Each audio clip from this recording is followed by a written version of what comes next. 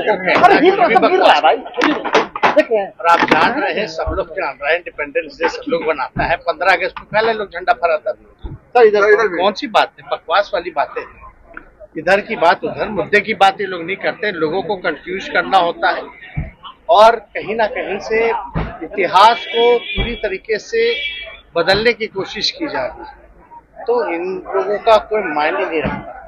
कौन क्या कहता है नहीं कहता है। इससे कोई किसी को फ़र्क भी नहीं पड़ता। तो कोई सुनेगा भी तो हंसेगा।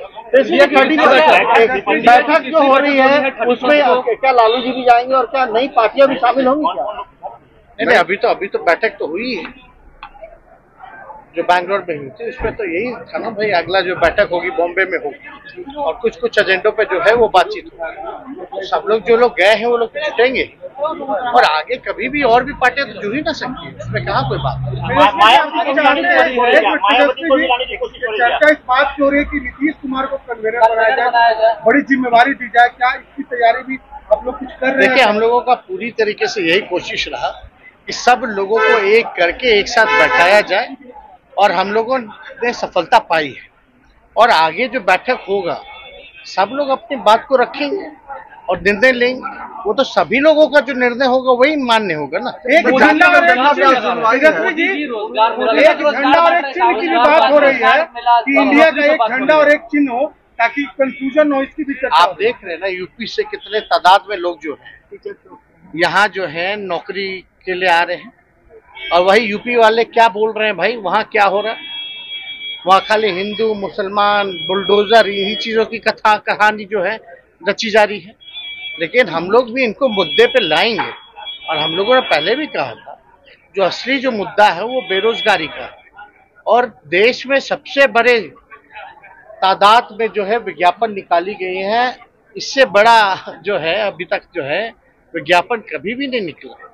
और न, आगे हम लोग जो है इसी तरीके से, ये तो एक विभाग का है। आगे और धीरे धीरे विभागों का जो है आएगा। तो वो तो हम लोग पूरा करेंगे। झंडे की बात हो रही है सुनवाई तेजस्वी है जी। सॉलिसिटर जनरल अचानक खुद जाते हैं कहते हैं कि हमने भाई पहले छुप के आते थे अब खुल करके आ गई है भारत सरकार। तो ये लोग तो कभी पक्षधर हुई नहीं है। कल तो पार्टी के लोगों ने मनोज झा जी ने प्रेस कॉन्फ्रेंस करके सारी बातों को आप लोगों के समक्ष जो है रखा ही है। तो ये तो हकीकत है कि भाई आप जो है शुरू से ही नहीं चाहते थे। और हम लोग तो कास्ट बेस्ड सर्विस कर रहे हैं। और यहाँ की बीजेपी के जो लोग हैं कहते चौबीस घंटा मारे भाई चौबीस घंटा उधर आप रोक रहे हैं। चलो ठीक है वो भी नहीं। लेकिन थोड़ा साइंटिफिक तो दिमाग होना चाहिए ना लोगों को कि आंकड़ा आता है तो उसको पूरा तरीके से हर एक चीज़ देखा जाता है कंबाइन किया जाता है। फिर जोड़ा घटा जो होता है वो सब चीज़ें चीज़ चले जी तीसरी बार भी आएँगे। सीएम आश्वस्त किए हैं वो तीसरी बार भी आएँगे। वो फिर आएँगे वो रहे हैं वो उनको रहने दीजिए उनसे क्या लेना देना? है लेकिन देश की जनता का तो मूड कुछ और ही है। नीरज चोपड़ा ने वर्ल्ड एथलेटिक चैंपियनशिप में उनको बधाई देते हैं। और अब तक के वर्ल्ड चैंपियनशिप में पहली बार कोई जो भारतीय है जो है गोल्ड मेडल लाया है। नीरज चोपड़ा जी को बहुत बहुत बधाई। और देश का नाम उन्होंने रोशन किया है।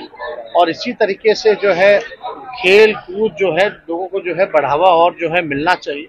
अब सोचिए कोई कल्पना नहीं कर सकता था जावलिन थ्रो में जो है लगातार नीरज चोपड़ा जो है एक कंसिस्टेंटली जो है परफॉर्म करते रहेंगे और पाकिस्तान के जो है वो दूसरे नंबर पे आए हैं। तो बहुत ही बढ़िया बात है। अभी रहे इसमें खुशी की बात है। बहुत अरे हिस्ट्री रचा गया है तो बहुत बढ़िया।